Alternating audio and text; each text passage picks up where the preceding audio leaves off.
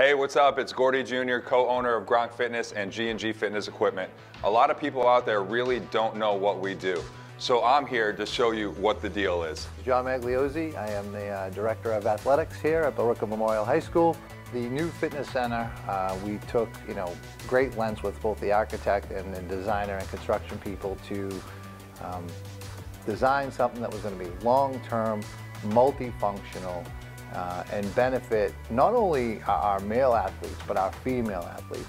It was really about creating a, a, a room that benefited everybody. And uh, it just seems like they're more engaged in what the physical education teachers are trying to deliver and to the overall health and wellness programs that we have. So we could actually put you know, upwards of, you know, 100 kids in the two fitness centers. There's no question that that weight room was a wow factor for uh, many of them.